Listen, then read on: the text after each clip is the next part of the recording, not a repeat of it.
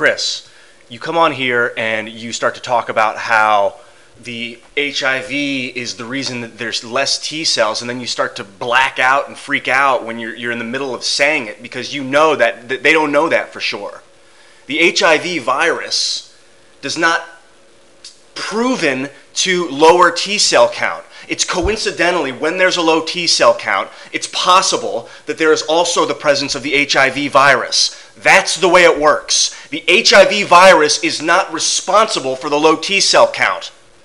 You come on here and you tell me that I'm wrong and that it's a stupid idea to question science. I know you work as a nurse in the healthcare profession and you believe what you're told so that you can do your job, but question it. Look for a better way. Don't just fucking believe what you're told, dude. You doing this and being a cog in the wheel is just gonna keep this fucking governmental machine running. And people are gonna keep getting treated with medicine and people are gonna keep dying.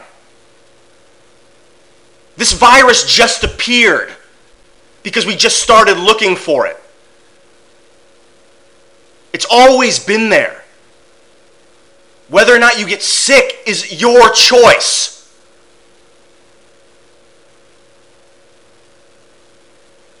Now, I see you put all these links up of facts of what the current scientific community believes. The whole point of the scientific community is to question the scientific community while enlightening people along the way and encouraging people to continue to question and look for other ideas other than what's in the fucking textbook.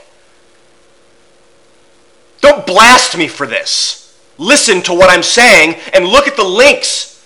Look at the look at the information, look at the people. Look at Peter Duesberg, who's being laughed at by the scientific community for fucking questioning it. He's a brave man. He's the person that isolated the first cancer gene. He studies retroviruses. He knows what he's talking about.